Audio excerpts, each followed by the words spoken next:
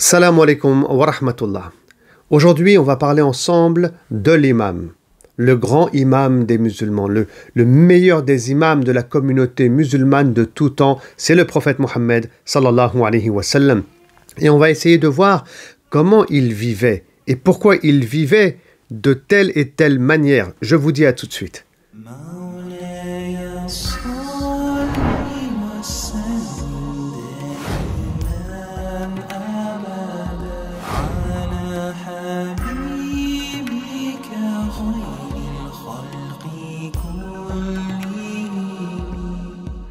Salam alaikum wa rahmatullah. Le prophète Mohammed sallallahu avait plusieurs, comme on dit, casquettes.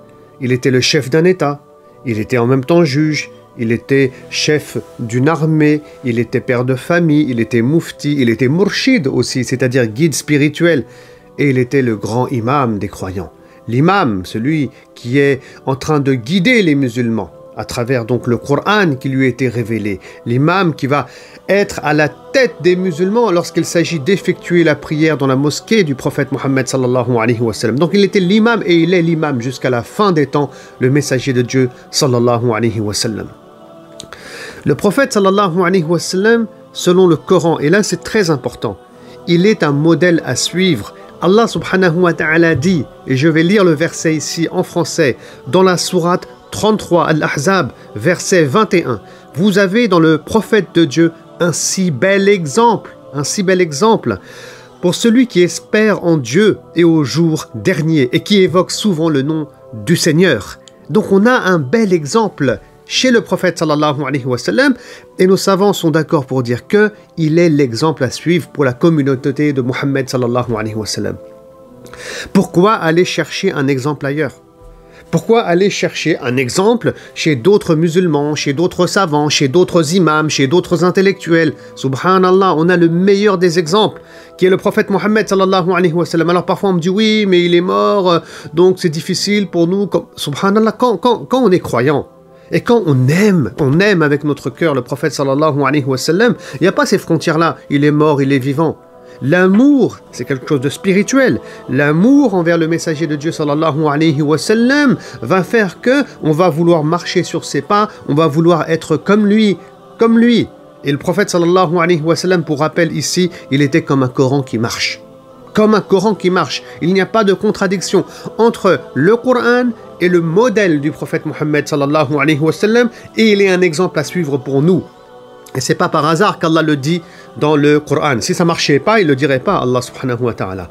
Le prophète sallallahu il est un exemple pour tout le monde. Et même pour les imams. Même pour les imams. Et donc, comment il était le prophète sallallahu en tant qu'imam? C'est ça le sujet que je voulais aborder aujourd'hui.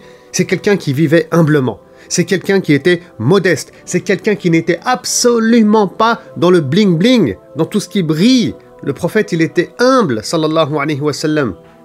Le prophète sallallahu alayhi wa il n'avait rien à vendre. Il communiquait le message d'Allah subhanahu wa ta'ala, il n'attendait rien en retour, ni argent, euh, ni remerciement, ni quoi que ce soit, car le prophète sallallahu alayhi wa tout ce qu'il faisait, c'était pour Allah subhanahu wa ta'ala et pour préparer la vie après la mort. Car la vie après la mort, c'est la vie de l'éternité et c'est ça qui compte pour le croyant. Le croyant, il veut construire pour l'au-delà. D'ailleurs, le prophète sallallahu alayhi wa sallam disait que le croyant, il est comme en prison dans ce monde et c'est en mourant qu'il se libère, car il est heureux le croyant dans sa rencontre avec Allah subhanahu wa ta'ala.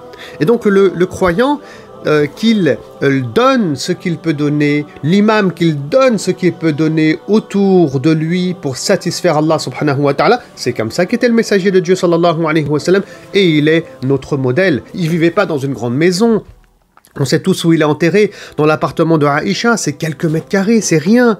Le prophète sallallahu alayhi wa ne vivait pas dans la luxure. Ce qu'il possédait, il n'arrêtait pas de l'offrir autour de lui. Ce qu'il avait, il l'offrait autour de lui. Des fois, il rentrait tard le soir parce que ce qu'il possédait, eh ben, il l'avait encore et il l'avait pas encore distribué.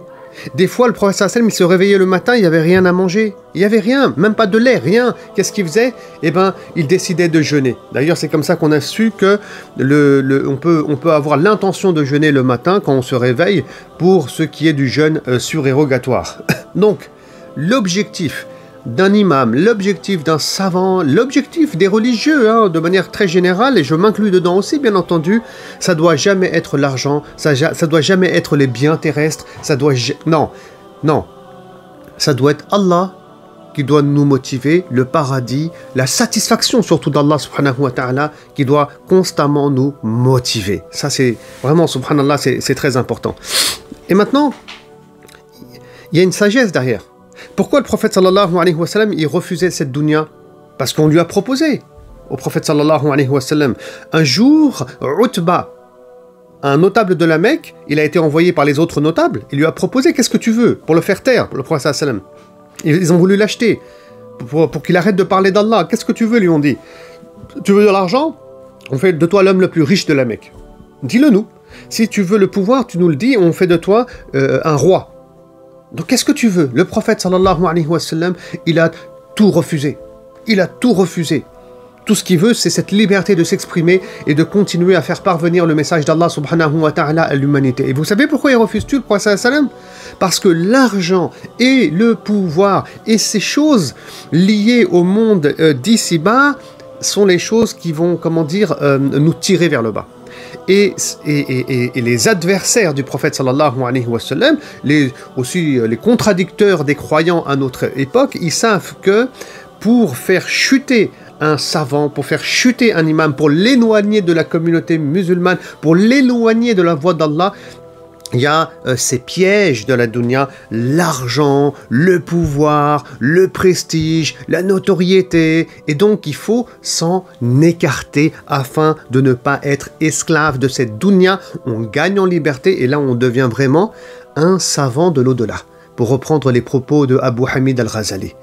Un, un, savant de l'au-delà et non un savant de la dunya. Donc pour récapituler, quel bel exemple le prophète Mohammed sallallahu alayhi wa sallam un exemple pour les croyants, un exemple pour nos imams, pour euh, nos chouyours, pour nos intellectuels, pour nos savants, un exemple, la modestie, loin de la dunya, loin des, biens de ce monde. Le prophète sallallahu alayhi wa sallam, il aimait cette dunya, il aimait les chevaux, il avait des épouses, mais c'était dans sa main, c'était pas dans son cœur. C'est pas ça qui le pilotait. Il s'en était écarté. On ne pouvait pas acheter le silence du prophète sallallahu alayhi wa sallam.